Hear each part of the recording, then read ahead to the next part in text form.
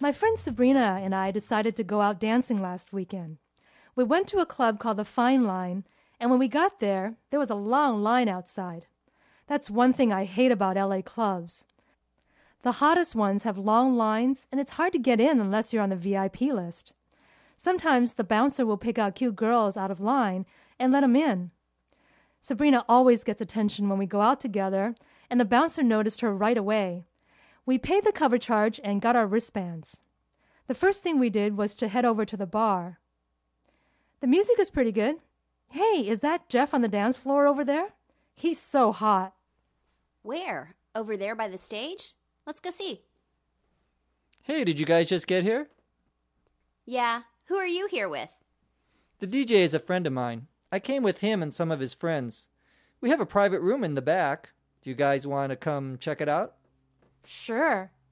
Definitely.